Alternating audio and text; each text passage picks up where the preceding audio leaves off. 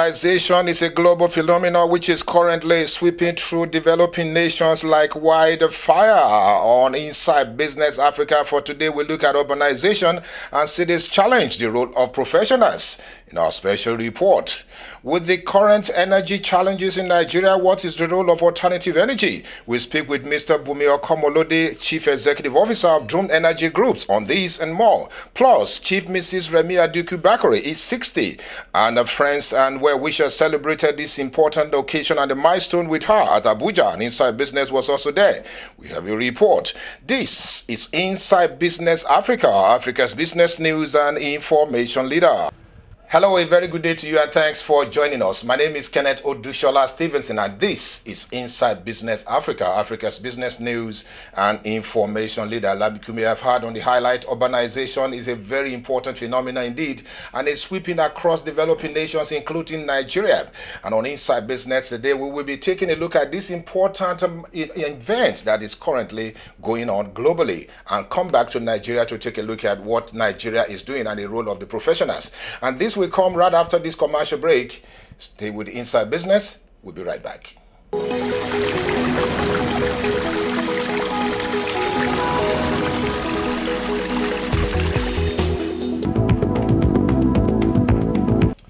Welcome back. It's still Inside Business Africa, Africa's business news and information leader. Thanks for staying with us. Indeed, we have a very important special report today with the title Urbanization and Cities Challenge and the Role of Professionals.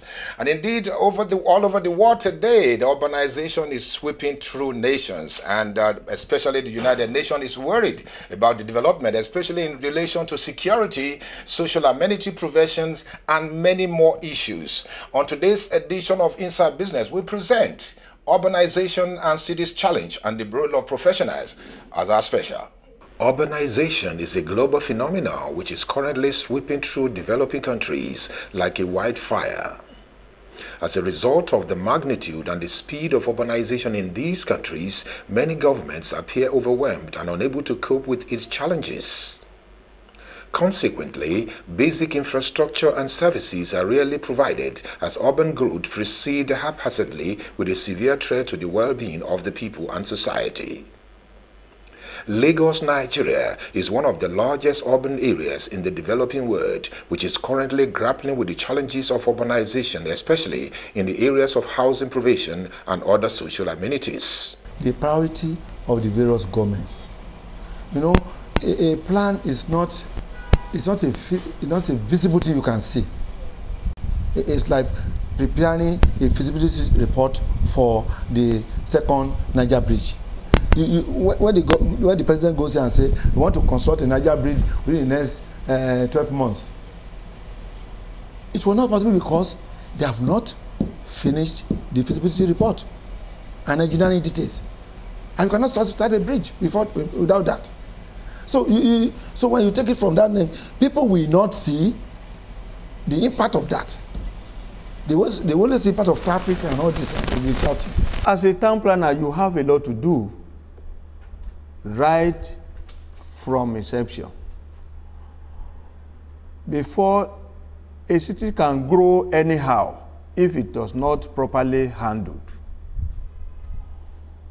your road network your housing arrangement even the communication route all these things are packed together to make a city and if they are not properly arranged and planned for there could be problem. because the town planner should actually be the custodian of what is happening in the built environment. Uh, he doesn't do this alone. Mark because he's supposed to be he's supposed to be overlooking a series of activities which involves urban planning which involves urban design which involves urban sociology which involves urban economy which involves architecture, which involves construction, which involves engineering, and so on. So his role really. What is a smart city? A smart city is just a city that is run on basis of technology, uh, recent technological inventions. You see, the, the white man will always invent names for things.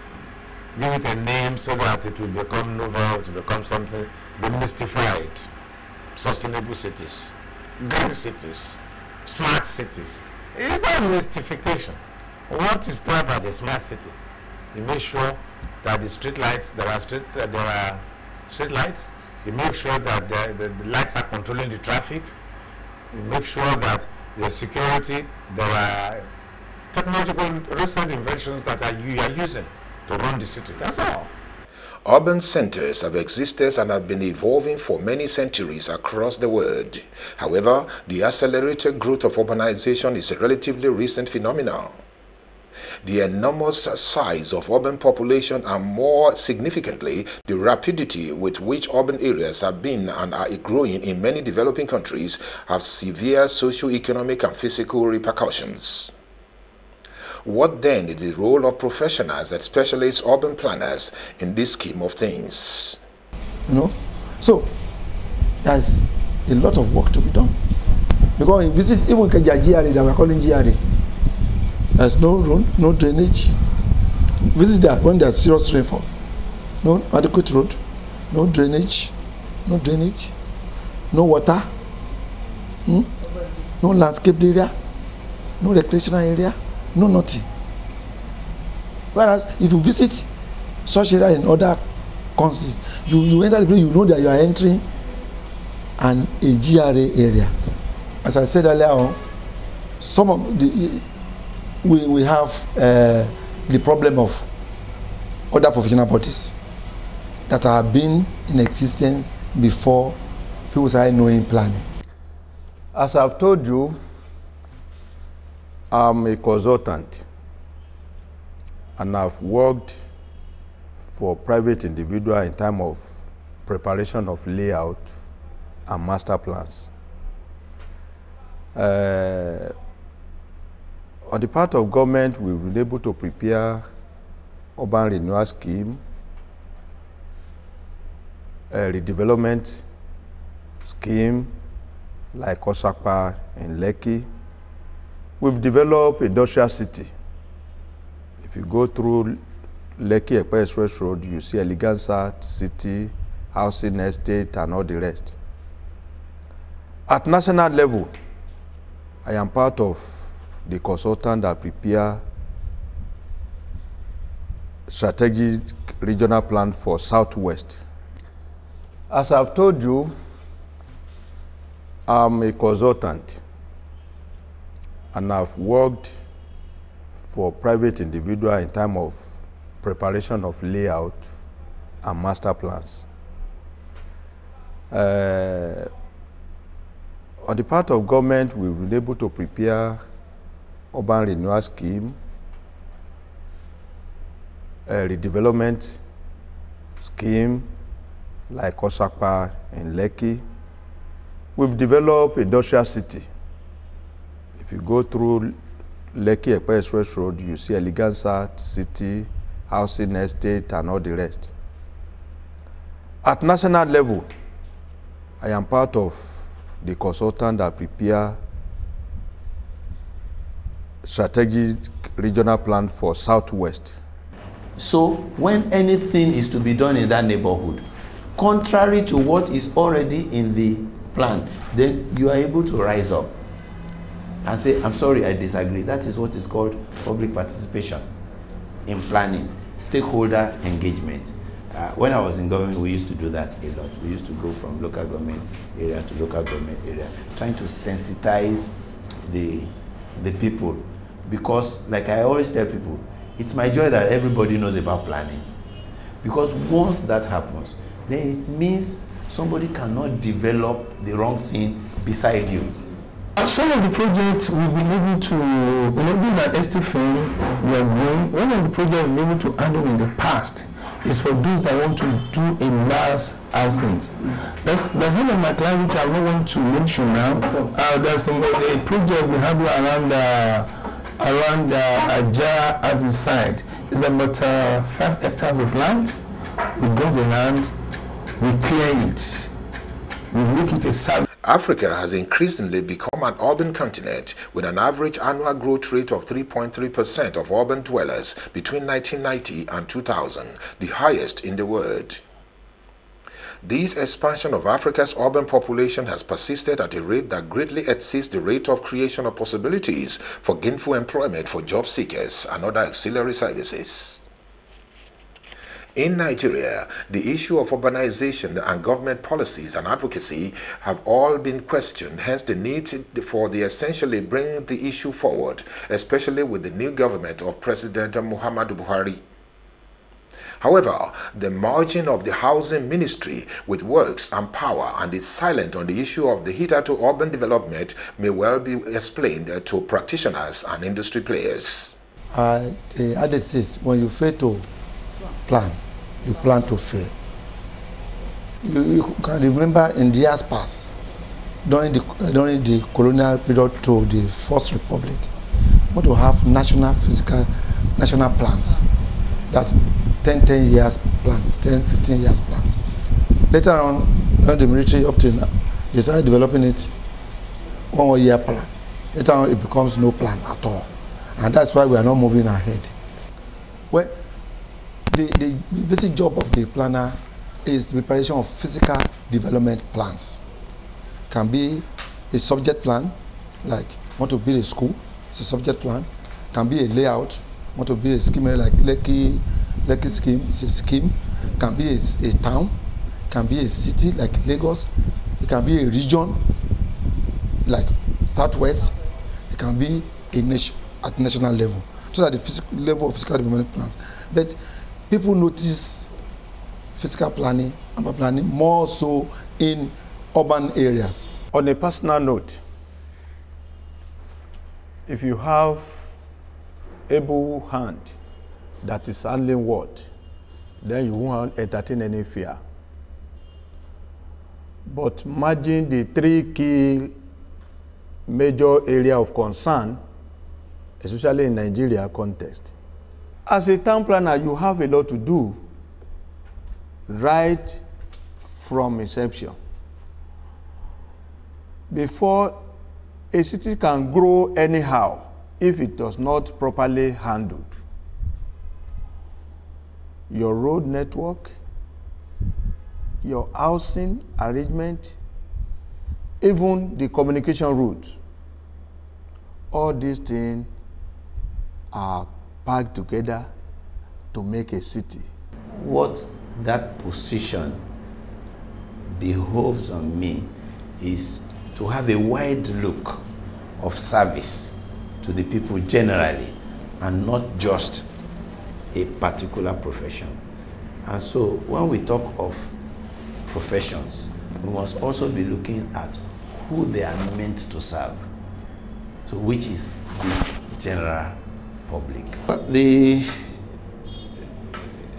the question almost answers itself because the town planner should actually be the custodian of what is happening in the built environment.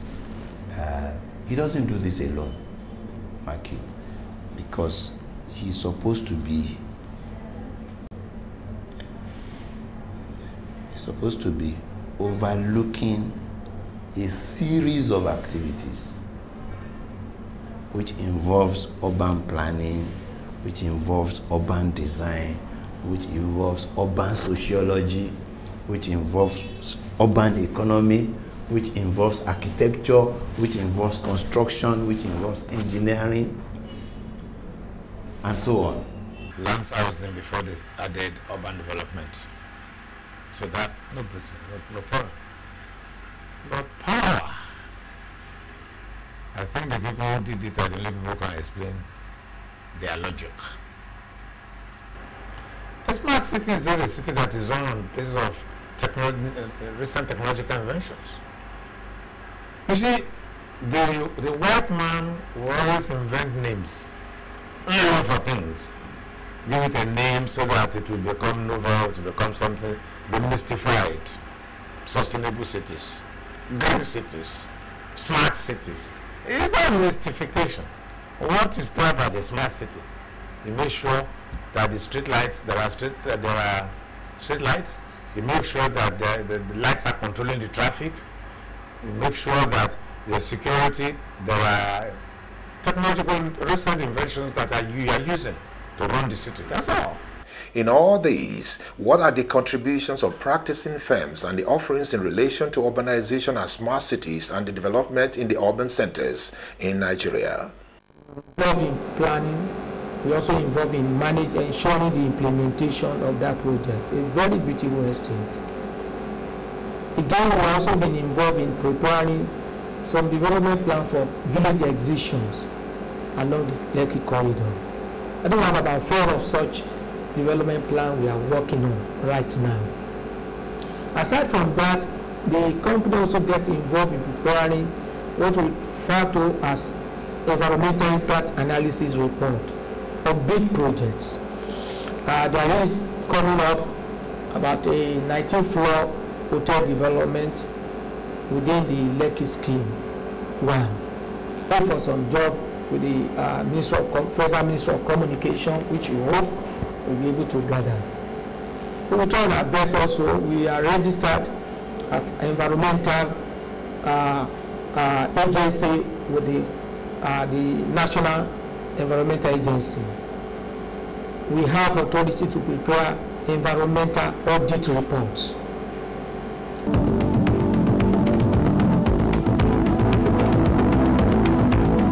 Indeed, our special report on urbanization and cities challenge and the role of professionals will continue in the next edition of Inside Business Africa. We'll be able to speak with more professionals and that will bring to bear their experiences and challenges and also what they need to do to ensure Nigeria is on the right track in terms of urbanization challenges, provision of amenities and uh, security as well. We'll talk about that next week. And don't forget, I will also, also later on on the program, we'll bring you some clips from Africa Build, CED Magazine and Inside Business Africa, where you are a partner to this important event. We'll talk about that very briefly before the end of today's edition of the program. But right now, we'll go on commercial break, and when we come back, we talk about alternative energy and what an organization is doing in Nigeria to bridge the gap. Stay with Inside Business. We'll be right back.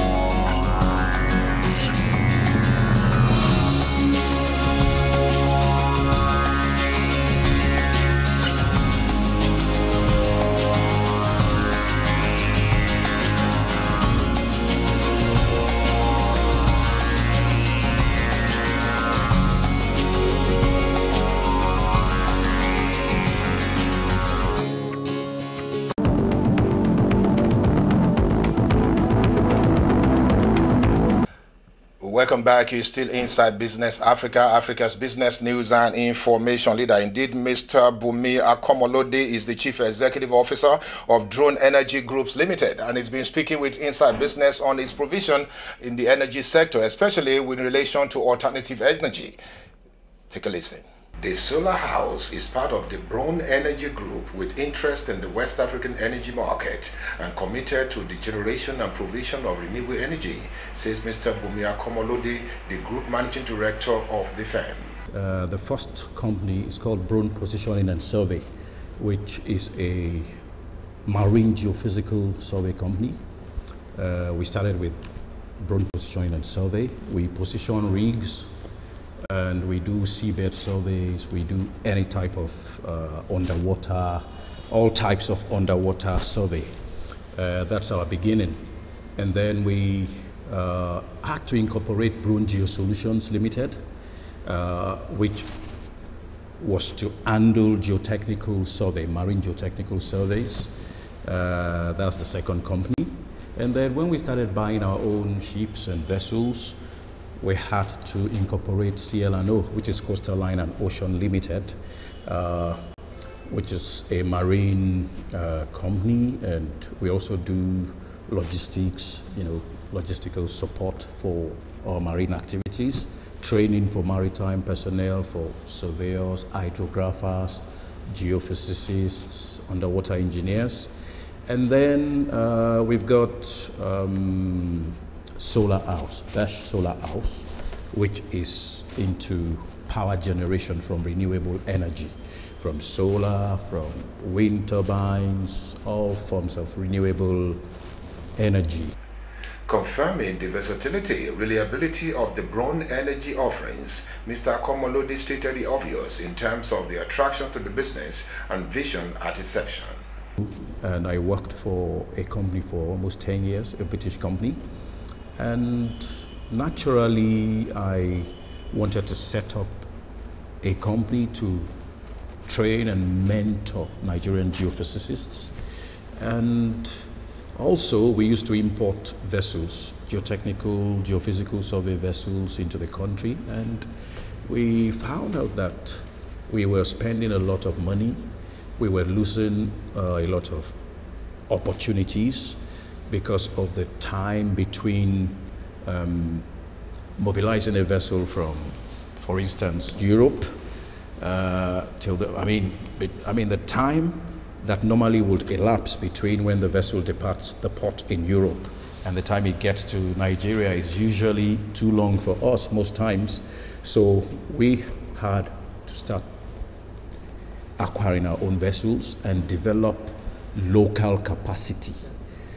No doubt, Nigeria and indeed Africa are in dire need of energy solution as the continent battle with shortfall in energy provision. What then could be the challenges in assessing the alternative energy, including renewable energy? Mr. Komolide speaks further on these and the firm's offering and the expectations. We started training geophysicists, surveyors, hydrographers, underwater engineers. We started training different people, um, developing that local content. You know, so that's what prompted uh, the incorporation of the first of the companies. Yeah.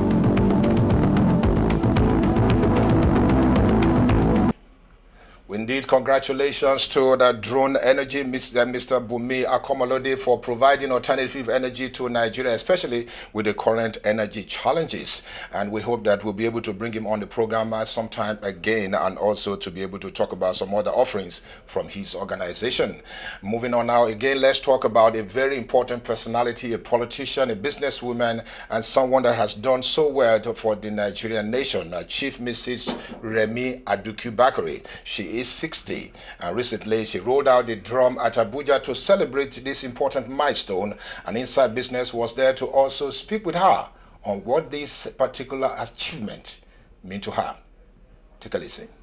It was indeed a graceful celebration for Chief Mrs. Remi Adiku Bakare, an astute politician, entrepreneur, and businesswoman who marked her 60th birthday with a Thanksgiving at St. James Anglican Church by ECOWAS Secretariat at Asokoro, Abuja on February 14, 2016. She was the cynosure of all eyes. Family members, children, friends, and guests came around to wish her happy birthday and thank God with her.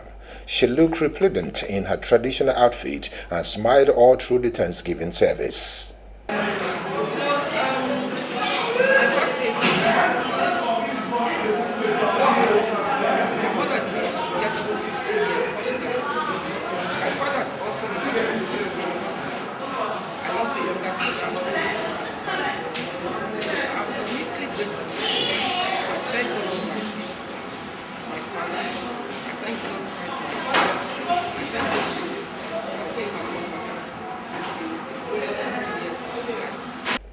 Now 60 years old, Chief Mrs. Remi Aduku thanked the church for standing by her and for her friends she showed appreciation and gratitude. I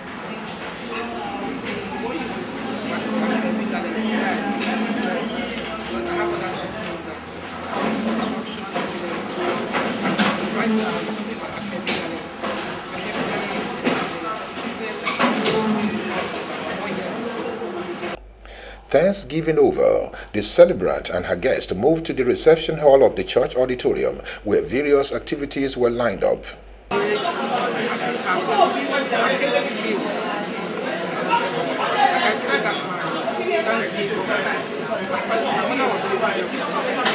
The early morning Thanksgiving gave way to a bright and more celebration. The church reception hall was filled. Guests from far and wide, old acquaintances, political associates, members of her immediate family, relations and children were there to share in her joy. Chief Mrs. Remi Adiku Bakare, described by many as a virtuous woman, she single-handedly built her political career through the dint of hard work, trust and dedication to the cause of serving humanity.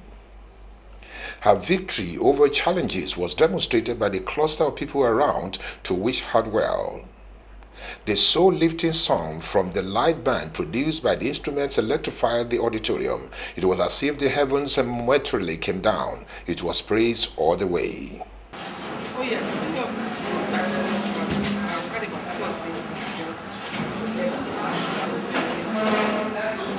Chief Mrs. Remi Adiku Bakare thanked God, her friends, for standing by her in an exclusive interview.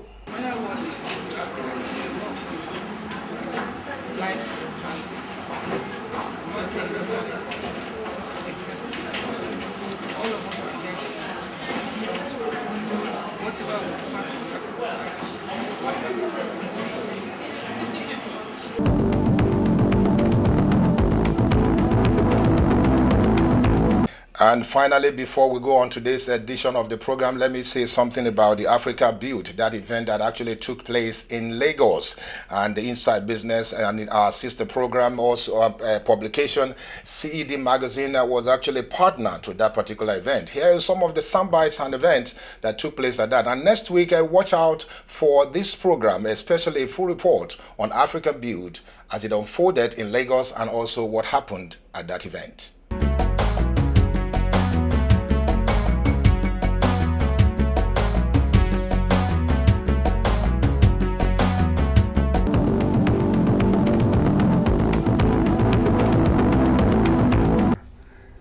One to be a seed company, you want to be registered with the federal government. After registering with the federal government, you register with the National Agricultural Seed Council. And out of that passion, I said, no, something needs to be done. There should be an alternative. Drug is never an option.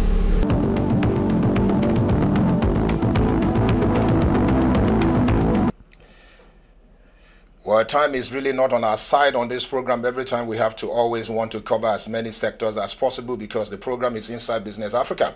But next week, here are some of the things you'll be seeing, especially our special report on agriculture will return and also other